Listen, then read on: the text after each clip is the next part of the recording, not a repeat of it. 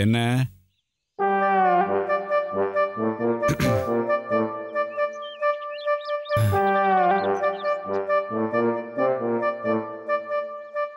அப்பா இந்த சிங்கப்பூர்காரன் இருக்கான் இல்லையா? யாரு சக்தியா? ம். நேத்திக்கு அவனுக்கும் எனக்கும் ஒரு சின்ன சண்டை. என்னப்பா சொல்ற? ஏப்பா நீயே வம்புத்துப்புலாம் போற? இதே தான் அந்த பூசாரியும் சொன்னார். யாரு? பொன்னம்பலமா? ம். உங்கள் அப்பா அதிர்ந்து ஒரு வார்த்தை கூட பேச மாட்டாரு. நீ எதுக்குப்பா சண்டைக்கெல்லாம் போகிறேன்னு என்னை பார்த்து கேட்டார்.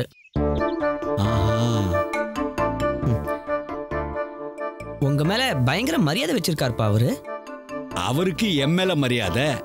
ஆனா இந்த ஊரே அவர் மேல மரியாதை வச்சிருக்க? ஆ? அவ்வளோ பெரிய ஆளா அவரு?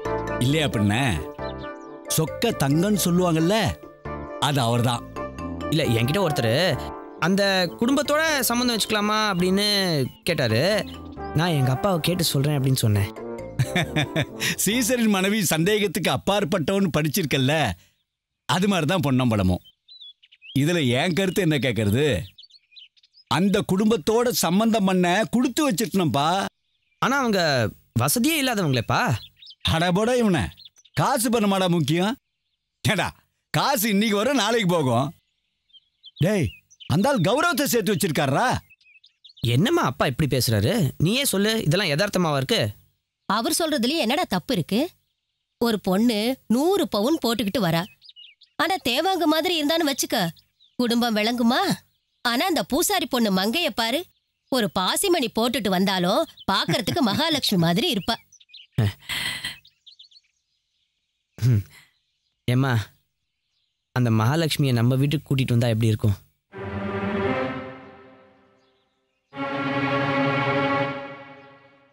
என்னடா சொல்ற? மங்கையை நான் கல்யாணம் பண்ணிக்கிறேன்னு சொல்றேன். என்னப்பா நீ? படிச்ச பிள்ளை விவரமா இருப்பேன்னு பார்த்தா இப்படி தத்து பித்துன்னு உளர்ற?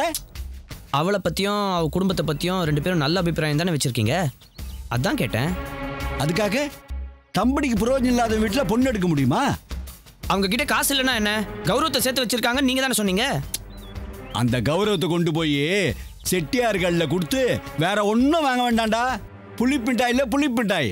அதை ஒரு எட்டனாக்கு வாங்கிட்டு வா பார்க்கலாம். அவங்க கிட்ட சம்மந்தம் வச்சுக்கிறதுக்கு கொடுத்து வச்சிருக்கணும்னு நீங்க தானேப்பா சொன்னீங்க? அது பூசாரி மாதிரி இருக்க பிச்சைக்காரனுக்கு சொன்னேன். நமக்கு இல்ல. இந்த பாருங்க. எனக்கு கல்யாணம்னு ஒன்று நடந்ததுன்னா அது மங்கை கூட தான் நடக்கும். நான் முடிவா சொல்லிட்டேன்.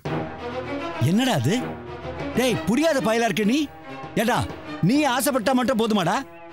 அந்த பூசாரி ஒரு வீம்பு பிடிச்சவன். இதுக்கெல்லாம் ஒத்துக்க மாட்டான்டா. எல்லாம் அவர் ஒத்துக்கிட்டாரு. நீங்க போய் பொண்ணு கேட்டா போதும்.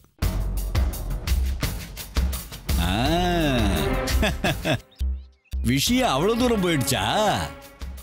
கல்யாண தேதியை முடிவு பண்ணிட்டு அப்பங்கிட்ட வந்து சம்மதம் கேட்கறியா ஐயோ அப்பா. மங்கையை பிடிச்சிருக்குன்னு நான் அவர்கிட்ட போய் சொன்னேன். முறையா உங்க அப்பா அம்மா வந்து பொண்ணு கேட்க சொல்லுன்னு அவர் சொன்னாரு. முறையா பொண்ணு கேட்டு போனா? முறையா செய்ய வேண்டிய சீரி சனத்தெல்லாம் செஞ்சுட்டு அந்த வெறும்பைய? அந்த மாதிரி எதுவும் செய்ய முடியாதுன்னு தெளிவா சொல்லிட்டாருப்பா. ஓ அதையும் பேசிட்டீங்க. எனக்கு என்ன வேலை மிச்சம் வச்சிருக்கீங்க? தாலியை கட்டி கூட்டிட்டு வந்திருந்தீங்கன்னா பெத்த கடமைக்கு ஆசீர்வாதம் பண்ணிருப்பல்ல? அப்பா பாப்பா தப்பா நினைக்காதீங்கப்பா. கோச்சுக்காதீங்கப்பா. ப்ளீஸ்ப்பா நீங்க தான்ப்பா சொல்லணும். இன்னும் நான் சொல்றதுக்கு என்னடா இருக்கு? அவங்க கிட்ட நம்ம எப்போ பொண்ணு பார்க்க வரோம்னு சொல்லணும்ல.